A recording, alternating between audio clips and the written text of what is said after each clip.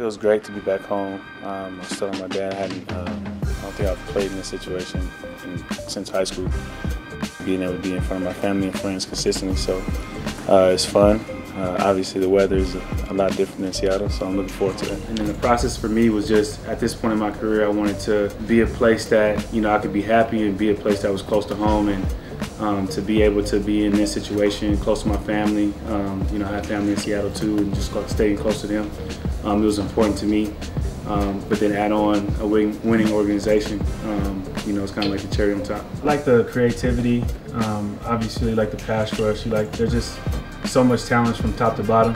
Um, you know, I thought it'd be a good place to be. You know, you have guys like that, players like that, all pro, pros in their own right. You know, reach out to you and want to, um, you know, team up. I think it's it's special, and then you know, being in a place where they where they want you to play there and want you to be there, and it's special.